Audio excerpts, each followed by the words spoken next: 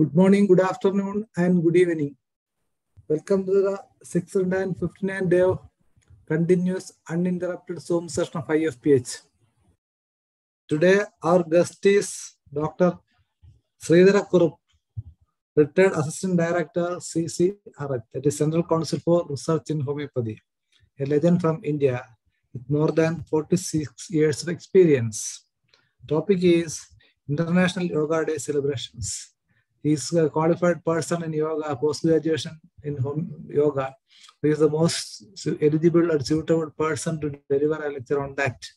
in every year that the 21st uh, uh, July, uh, June is going to, to be uh, celebrating since uh, 2014 that uh, it started to started already celebrating we are last uh, seven years or eight years we are uh, celebrating all over the world our prime minister that uh, um, our honorable prime minister uh, Sri Narendra Modi is uh, gave that uh, he went to the United Nations.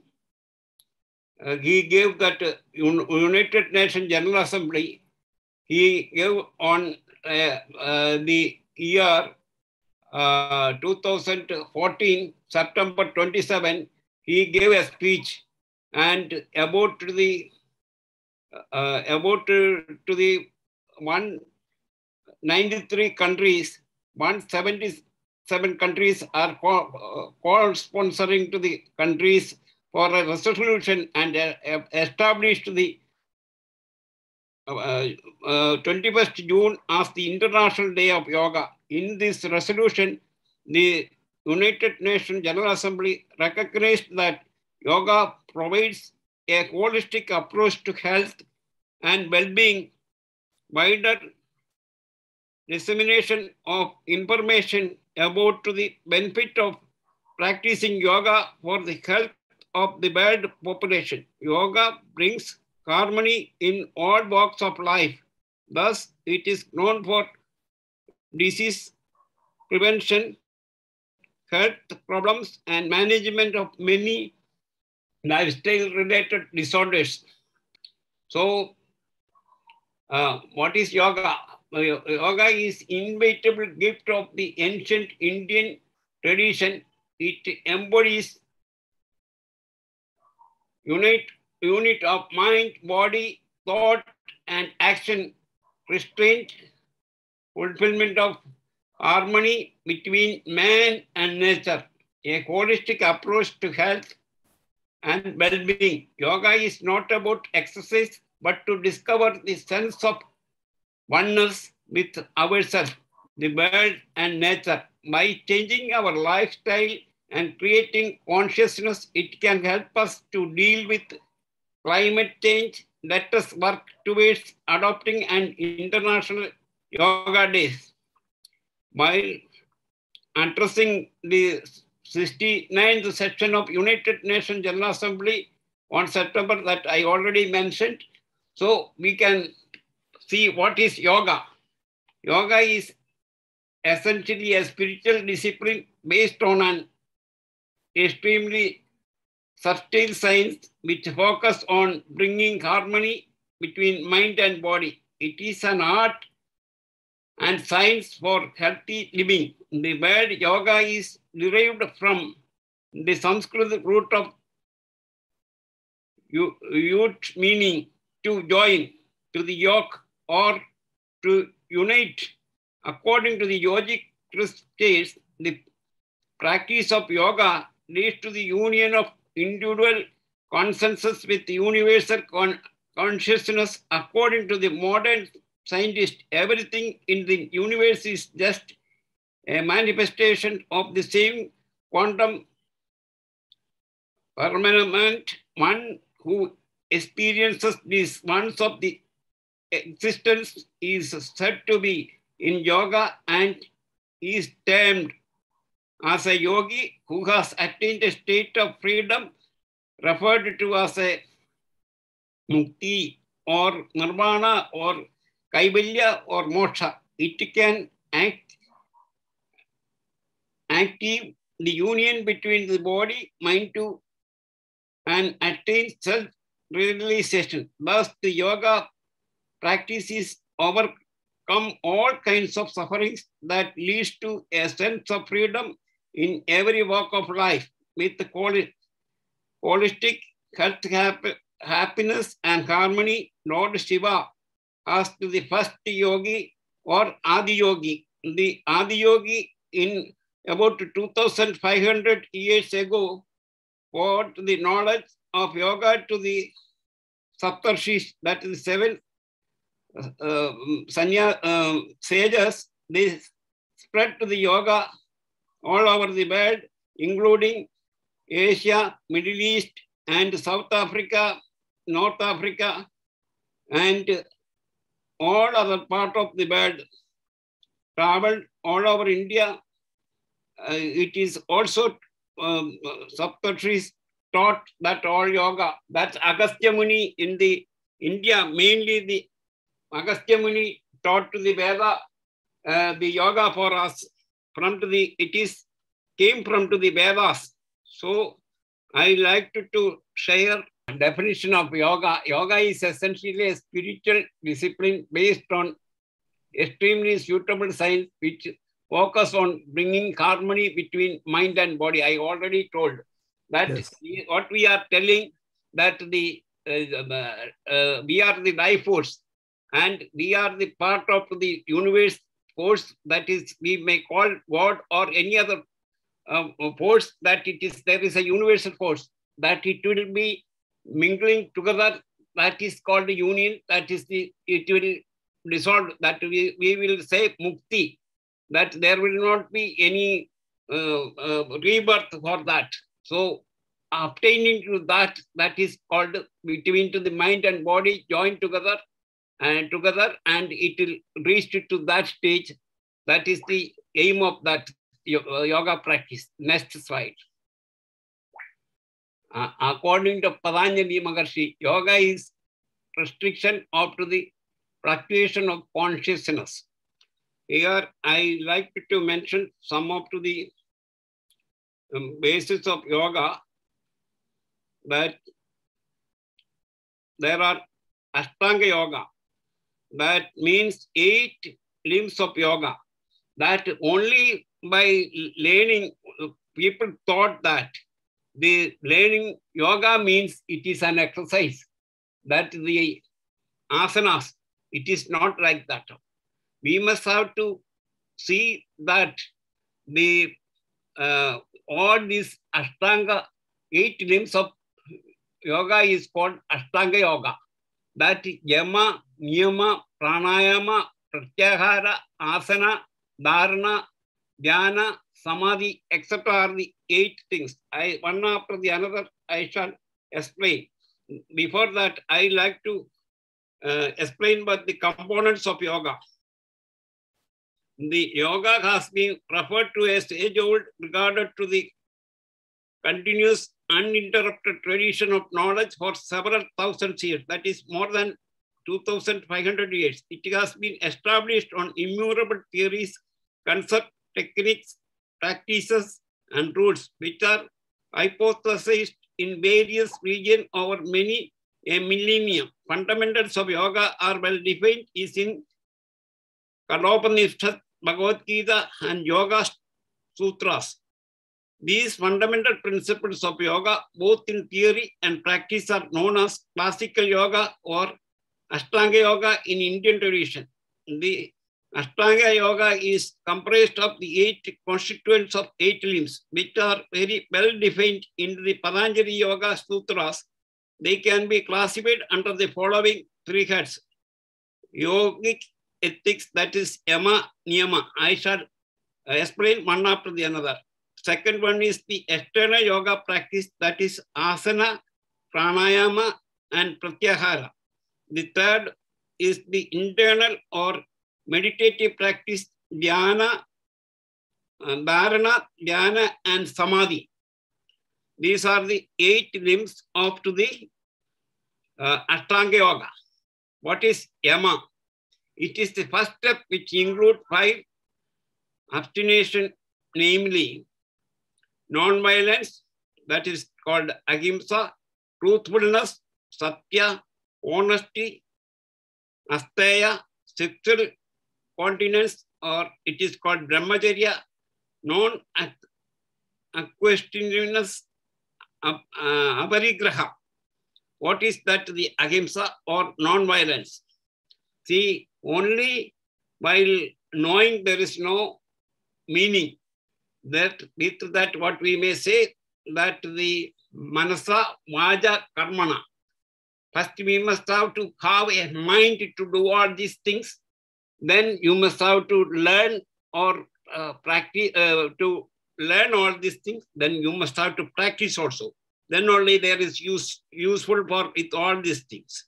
What is ahimsa or non-violence? It is universal moral commandment and is ethical preparation for a student of yoga. Not to harm any living being by any means is the basic principle of non-violence. This creates an atmosphere of universal love and brotherhood and makes the one's mind pure. That is the uh, non-violence. Second is the truth, the all called Satya. Truth is universal and is the only uncon uh, only uncontroversial basis for development of self. Truth and love are the ultimate reality of this world, and a yogi must adopt this reality is not only speech but also in routine conduct. Untruthfulness, either in mind or in action, leads to yogi away from his mission. Next one, that is asteya or honesty. To resist the desire of using others' belongings, whether money, thought, or materials for own benefit is asteya. This act of non-stealing includes not only taking what is others without prior permission, but also using it for different purposes or using beyond the permitted time period. This also includes misappropriation, misconduct, misuse, mismanagement, and breach of trust. One should reduce one's need to the minimum to achieve the ability to ward off great temptation. Next one is brahmacharya, sexual continence. To live the life of celibacy, to develop self-restraint, and to perform religious act are the basic principles of brahmacharya. It does not only mean to preserve semen and remain celibate, the remain to remain strictly away from sexual activities is deed or thought is the basic principle of several abstinence components of brahmacharya.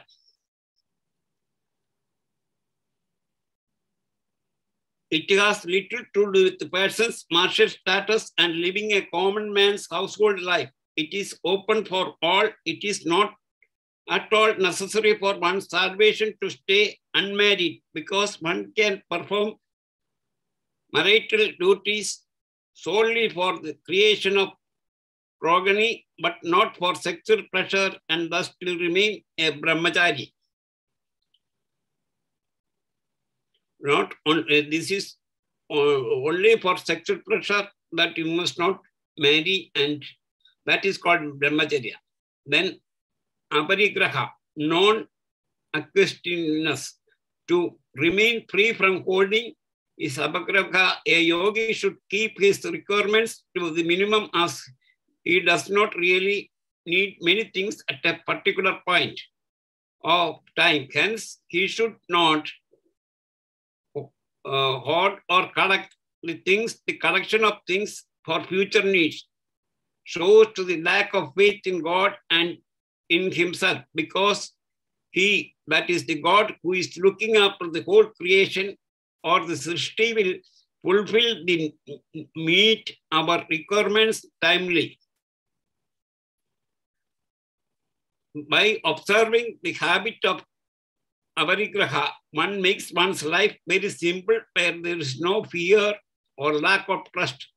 The life of a common man is full of mysterious disturbances, agonies, and frustration, which keep his mind always in a state of imbalance and perturbation. His mind is always calm and cool, unperturbed in a state of equilibrium. Niyama. These are the rule or code of conduct that apply to the individual disciplines. The five niyamas prescribed by the Maharshi Patanjali are such purity, santosh, contentment, tabas, austerity, sadhyaya, self-study, Ishvara Pranidhanam, or dedication to the God. What is the such or purity? For our well-being, purity of physical body is essential. At the same time, cleaning, cleansing of the mind of its disturbing emotions like hatred, passion, anger, lust, greed, delusion, and pride is essentially important. The toxins and impurities of the body are removed by pranayama and asanas. They not only clean the body, but also tone to the entire body along with its regeneration. The impurities of the mind may be washed off by adopting devotion that is called bhakti, where the impurities of intellect are removed or burnt off in the fire of self-study, that is sadhyaya, purification of cleansing of the physical body, mind, and intellect bring to the state of benevolence or uh, uh, benevolence which banishes mental pain, rejection, sorrow, and despair. Food is the basic necessity of body to keep the body and mind healthy.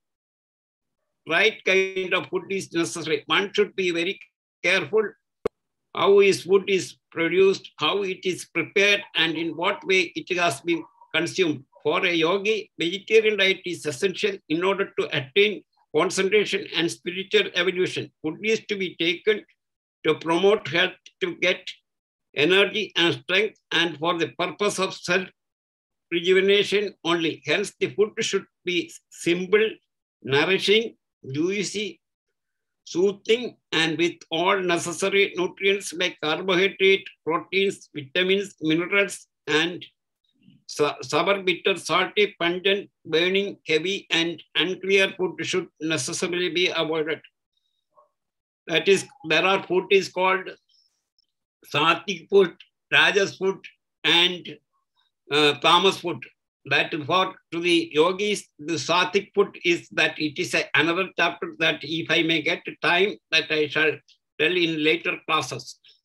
Then next one is santosha, contentment. Santosha or contentment has to be developed when a person is greedy for something or other, his mind cannot be concentrated. Here, the caste, creed, and wealth are the fundamental factors of dissatisfaction among the people, and that lead to conscious or unconscious conflict. In such a condition, mind cannot concentrate or it cannot become single-minded. Ekagra, and as a result, it is robbed of its peace, which is not the way of tranquility, truth, and joy, in whose absence or success of whatever kind can be achieved. Then next one is tapa or austerity. Efforts and practice of character building may be termed tapas. It means to burn, shine, consume, blaze, or destroy all kind of pain with the help of inner self-control energy.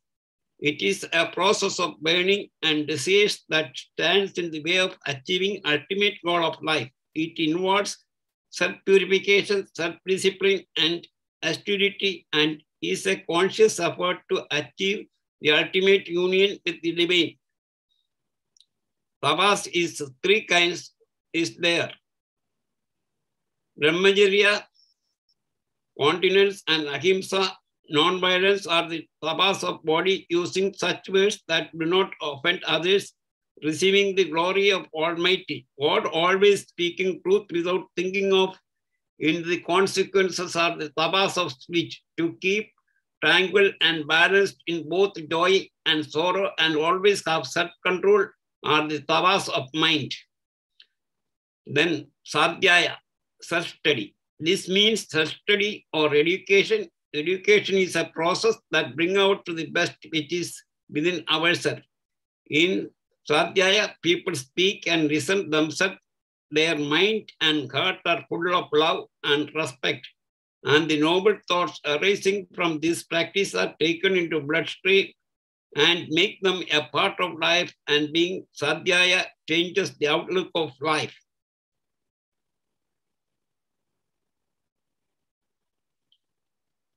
Next one is the Ishvara Pranidhana or dedication to the God. Dedicating one's all will wish to the action of to the God is Ishvara Pranidhana.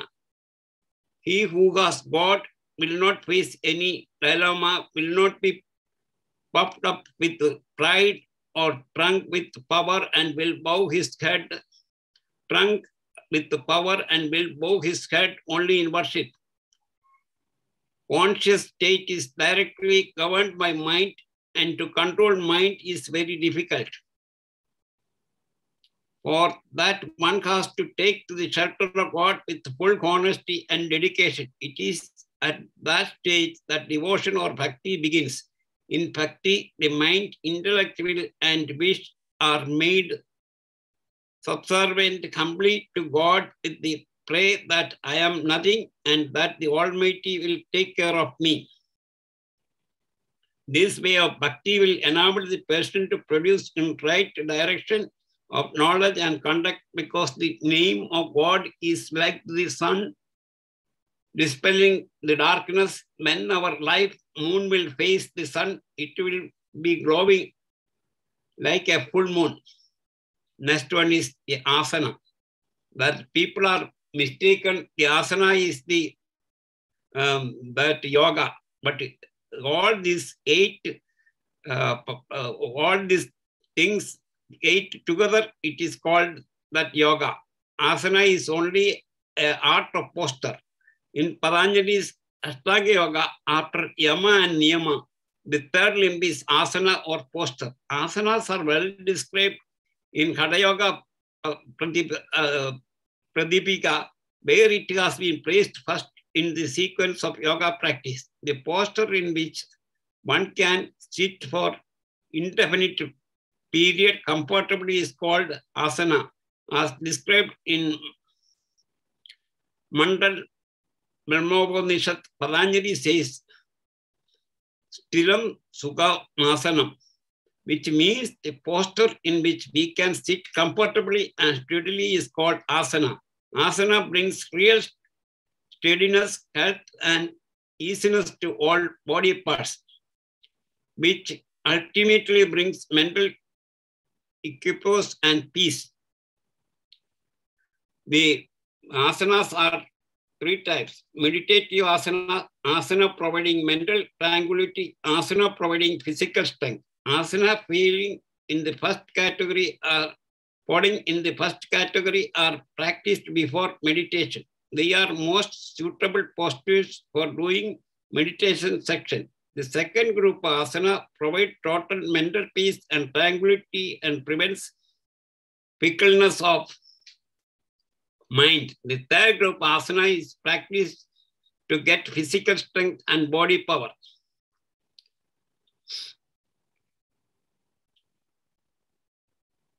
The asanas lead to various useful physiological, biochemical, and mental changes in the body. These changes include loss in body weight, decreased respiratory rate, increased vital capacity of lung, increased chest expansion, decreased blood glucose level, decreased blood cholesterol level, increased blood protein level, improves functions of endocrine glands, and improved mental process like intelligence, quadrant IQ, mental quadrant MQ, also EQ, um, EQ, emotional quadrant, decreased mental fatigue and anxiety, etc. Several other significant neurophysiological and neurohumoral changes have been reported to take place following the practice of asana.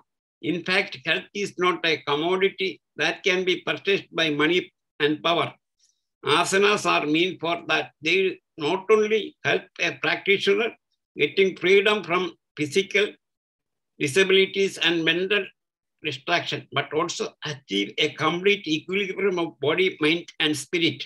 Even in homeopathy is also the same thing. Body, mind, and spirit conception is there. Pranayama, science of breath. Pranayama is the process of yogic breath or science of breath, as stated in Yoga Sutra. Tasmin sadi swas prastad yogi uh, yogiti viche pranama pranayama. This is pranayama is related with the prana, which means breathe, respiration, life, vitality, wind, energy, or strength. The suffix ayasa, ay, ayam means length, expansion, stretching, or restraint. Pranayama thus means the extension of breath along with its control. Every breath has three components, inhalation or inspiration, which is termed uraga. Second, the retention or holding the breath, a state where the inspiration air is held in the lungs, termed kumbhaka. The third, ex exhalation or expiration, which is called trajaga or empty, in which the air filled in the lungs is to be released quickly. This, this pose is given more time for gaseous exchanges of oxygen and carbon across the blood capillaries. In addition, it allows better mixing of fresh air with the state residual air in the air sacs of the lung. Holding of the breath during the period of lung are filled as a cleansing and purifying effect on the residual air. See that uh, some people can stay without food even uh, um, uh, weeks and months, but that without uh, water you can stay one or two or even for few days, but without air you cannot remain alive. So the pranayama is prana is the oxygen uh, taking in the uh, that that is the one of the first one in the our life. But then pratyahara, sensual control. If a man has firm and rhythmic control on his sense, he may be free from several agonies caused by them. This is known as pratyahara. There is a bondage, pain, sorrow of one's mind, injured grieves over the specific subject matter, and at the same time, there is a pressure, liberation, and happiness of mind is free from all. To achieve the good and uh, sacred is the ultimate aim is pratyahara. By practicing pratyahara, a person feels joy and satisfaction because he knows how to stop and where to go, what to accept and what to reject. He understands that what is better, bitter like a person, poison today will become a sweet tomorrow. He remains stable in all condition of pain or pleasure, virtues or vice versa, honor or dishonor, he remains in the state of e equality, experiencing the fullness of universal soul and such condition of his attitude and behavior leads to him to path of perfection. Next one is dharana, concentration. It is the sixth stage of classical Patanjali Yoga. Dharana is the concentration on a single point or a total attenuation on what is to be done at a particular attention on what is to be done at a particular moment, the mind remaining unmoved and unruffled. It stimulates the inner awareness to integrate to ever-flowing intelligence and to release all tension. In fact, without concentration, nothing can be achieved. Without concentration on divinity, which shapes the control and universe, one cannot unlock the divinity within oneself or becoming a universal man. That is called the dharana. That is the concentration. Then next one is the dhyana. That is the meditation. Meditation is the practice by which there is a constant observation of mind. It means focusing the mind on one point, stilling the mind in order to perceive the self. By stopping the waves of the thoughts, one comes to understand his true nature and discover the wisdom and tranquility that lies within. With the continued practice of meditation, one can discover a greater sense of purpose and strength of will, and one's thinking become clear and more concentrated, affecting the person and all his or her actions. That is called meditation. That the several types of meditations are there. The main meditation is the Raja Yoga meditation. That is, it is concentrating on, they are concentrating on mind. Then um, so many types of meditations are there. Uh, often a part of it, the learn to control one's own thinking and emotions at a source to subdued restlessness, calm and nerve, nerves, and literally will, will himself to bring about what is best in him, to shut himself off from worry and all negative attitude. And also, it will create a positive attitude. Concentrate, uh, there are different types of the uh, meditations are there because lack of time i'm not going to mention because there are some doubts also must be clear so next one is last one is the ashtanga yoga. That's what the last one is the samadhi. Samadhi is the peak of the yogi's quest the height of the meditation. His body and body cells are at rest. As if he is in the state of sleep all of his mental faculties are full alert. As if he has attained super consciousness state. In fact, in the state of samadhi, yogi loses consciousness of his body, breath, mind, intelligence, and ego. He lives in infinity's peace, where his wisdom and purity combined with simplicity and humility. That is all. Now, if Yes. uh, people are Yes, interested, sir. Yes. now the time for discussion. Otherwise, that Yes. Yes. more that uh, uh, portions are there, but I am not going to further more. Okay, sir. Yes. Satriyas are there that if I may get another uh, day, I shall Oh, take okay. further more. Mudras Yes, are there. Yes. Thank It's you time to